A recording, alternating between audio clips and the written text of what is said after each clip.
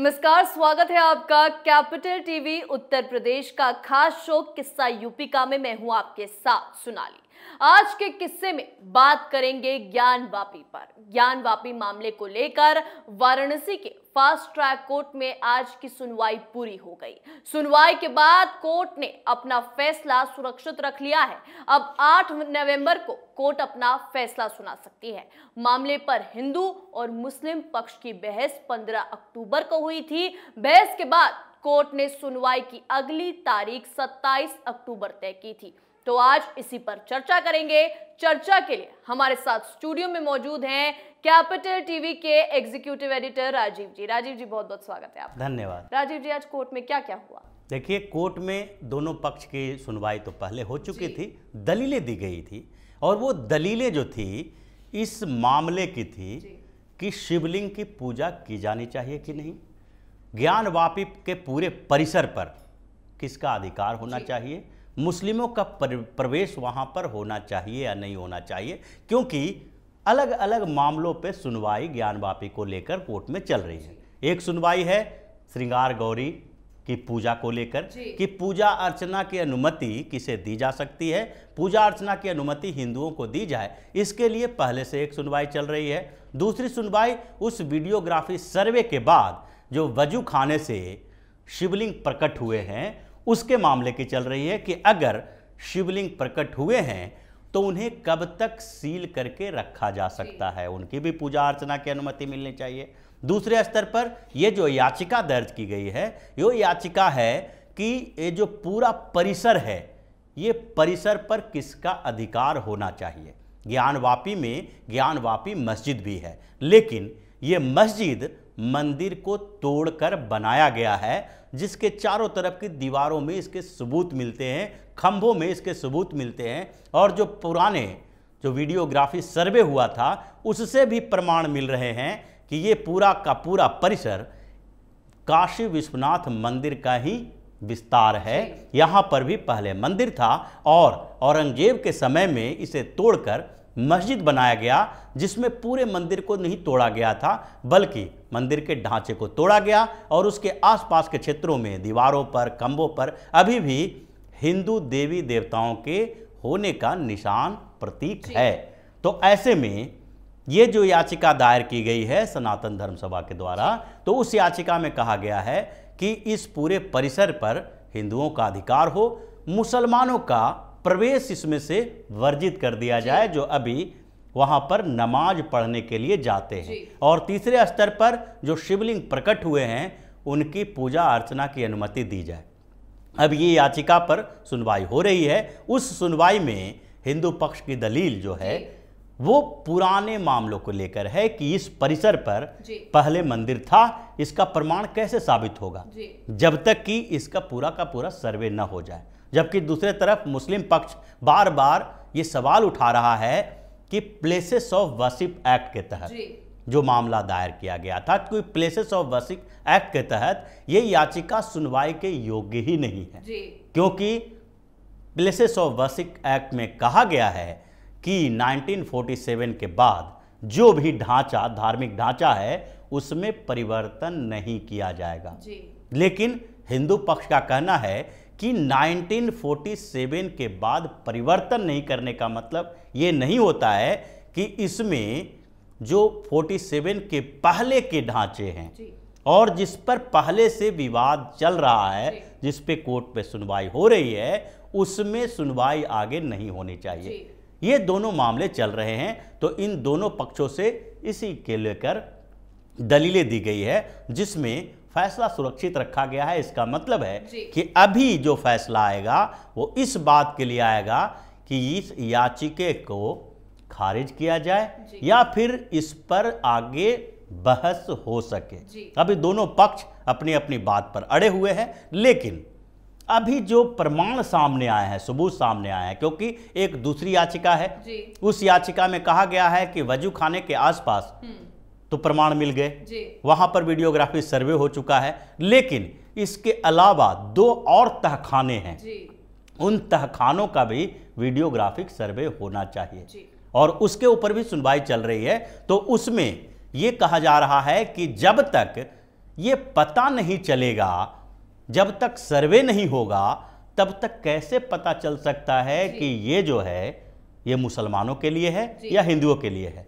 तो ये दोनों पक्ष में अपनी अपनी दलीलें पेश की है जिसमें से मुस्लिम पक्ष बार बार 1991 के उस प्लेसेस ऑफ़ वर्शिप एक्ट का उदाहरण दे रहा है। उसके पास और कोई भी मामला नहीं है जबकि कुछ उदाहरण ऐसे दिए गए कि पहले जब ये मामला कोर्ट में गया था तो उस समय इसे खारिज कर दिया गया था जबकि हिंदू पक्ष ने कहा है कि ये मामला उस समय जब गया था तो हिंदू पक्षकार कोई थे ही नहीं। मुसलमानों का कहना है कि ये वक्फ बोर्ड की संपत्ति है लेकिन वक्फ बोर्ड की संपत्ति कौन सी है? सबसे बड़ा सवाल तो ये उठता है कि वक्फ बोर्ड है क्या? वक्फ वक्फ एक्ट आया लेकिन वक्फ एक्ट एक्ट आने के बाद जो वक्फ बोर्ड की संपत्ति निर्धारित की गई है वो कितनी पुरानी है कब कब की है ये सवाल के घेरे में रहता है। क्योंकि मुगल काल के समय जो भी संपत्ति धर्म के नाम पर दान में दी गई थी इस्लाम के नाम पर दान में दी गई थी उन सबको ये लोग वक्फ बोर्ड की संपत्ति के दायरे में ले आए हैं। और अगर मस्जिद है तो मस्जिद को वक्फ बोर्ड के दायरे में लाने का मतलब है कि ये मस्जिद औरंगज़ेब के काल का है। लेकिन उससे पहले अगर आप देखेंगे तो उस पर जो मंदिर बना हुआ था उसके भी दस्तावेजी प्रमाण है। तो ये प्रमाण अपने आप में ये साबित करता है कि ज्ञानवापी का परिसर जिसका नाम ही अपने आप में हिंदू संस्कृति सनातन संस्कृति का द्योतक है दिखाई पड़ता है इसके उच्चारण से ही दिखाई पड़ता है कि ज्ञानवापी नाम कभी भी मुस्लिम रख ही नहीं सकता है। लेकिन ज्ञानवापी के आगे मस्जिद जोड़ दिया तो ये मुसलमानों का हो गया। तो अब सुनवाई इसी मुद्दे पर चल रही है और इस मुद्दे पर फैसला 8 नवंबर को के लिए सुरक्षित रखा गया है। अब हो सकता है कि उस दिन इस मामले की सुनवाई होनी चाहिए इसके ऊपर फैसला आए या फिर इसके ऊपर फैसला आए कि मुस्लिम पक्ष का जो जो उसकी मांग है वो मांग कितना जायज़ है। इसी मामले के लिए सुनवाई अब फैसला का इंतज़ार किया जा रहा है। राजीव जी क्या हिंदुओं को पूजा अर्चना करने का अधिकार मिलेगा? देखिए ये अधिकार तो मिलना चाहिए।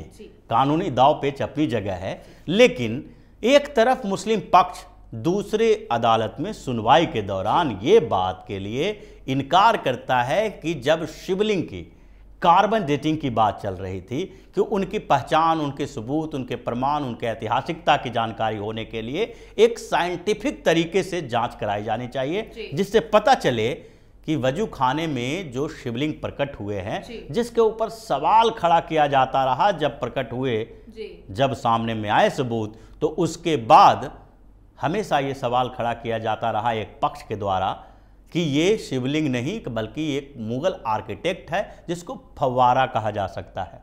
जब आप पहले से ही उसका विरोध कर रहे हो तो उसके बाद उसकी प्रमाणिकता की जानकारी के लिए उसको सबूत के तौर पर पेश करने के लिए तो एक ऐसी व्यवस्था चाहिए ऐसी प्रमाणिक जानकारी चाहिए जिसमें वैज्ञानिक तरीका अहम भूमिका अदा कर सकता है। लेकिन हुआ क्या?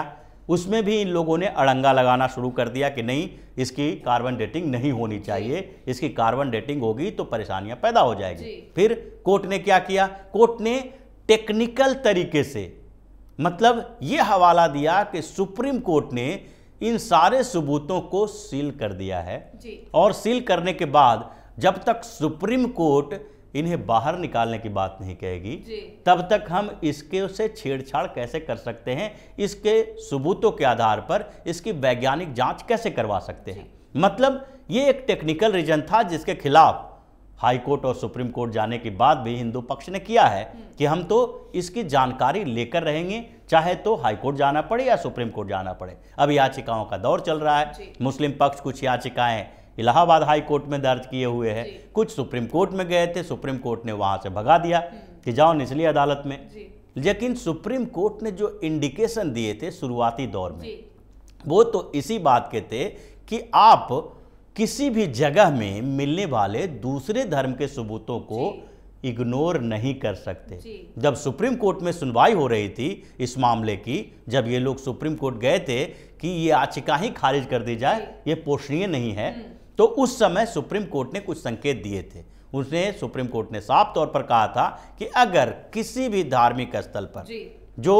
वर्शिप एक्ट के खिलाफ की बात कर रहे हैं कि किसी भी धार्मिक स्थल पर अगर दूसरे धर्म से संबंधित कोई प्रमाण मिलता है तो क्या आप उसे इनकार कर देंगे? जब इन लोगों ने बार बार वर्शिप एक्ट की बात की तो सुप्रीम कोर्ट में टिप्पणी की गई थी कि ये वर्शिप एक्ट की बात मत कीजिए। हम्म। अगर इसके ऊपर चर्चा करना शुरू करेंगे तो इसकी सारी कमियाँ बाहर निकल के आए थी आ जाएगी। ये सुप्रीम कोर्ट की टिप्पणी है। इसका मतलब है कि वर्शिप एक्ट अपने आप में इतनी कमियों वाला है कानून जिसमें संशोधन की ज़रूरत है।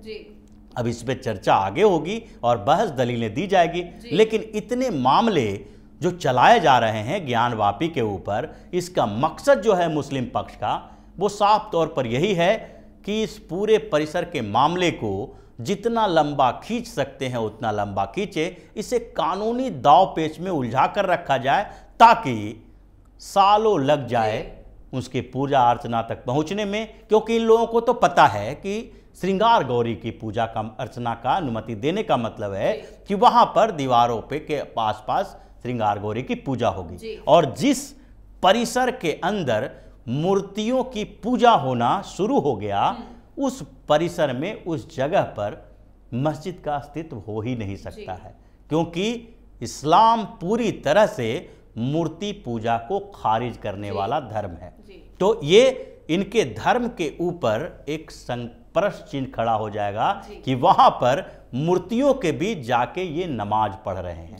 तो इसलिए सबसे महत्वपूर्ण मामला श्रृंगार गौरी की पूजा को लेके है जिस पर सुनवाई चल रही है और उसमें लगभग ये मान लेना चाहिए जिस तरीके से सुप्रीम कोर्ट ने संकेत दिए इलाहाबाद हाई कोर्ट ने संकेत दिए और उसके बाद जिस तरीके के संकेत निचली अदालत में दिए जा रहे हैं उससे तो लगता है कि उनको पूजा अर्चना की अनुमति मिल जाएगी। लेकिन इसके बाद जब तक सुप्रीम कोर्ट से डायरेक्शन नहीं मिलता है तब तक शिवलिंग की पूजा की अनुमति मिलने में थोड़े से हिचक है लग रहा है कि उसमें की संभावना कम दिखाई पड़ रही है जब तक कि सुप्रीम कोर्ट के निर्देश न मिले। कार्बन डेटिंग की बात जा रही है अगर वहाँ से संकेत मिल गए तो पूजा अर्चना की अनुमति मिल ही जाएगी। बहुत बहुत धन्यवाद राजीव जी बातचीत के लिए। धन्यवाद।